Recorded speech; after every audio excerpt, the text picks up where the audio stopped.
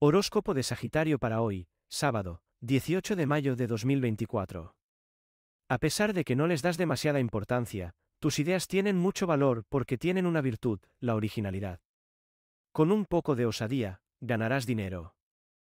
Los problemas gástricos que arrastras tienen mucho que ver con los malos hábitos alimenticios, prueba comer de forma más ordenada y alimentos más ligeros y limpios.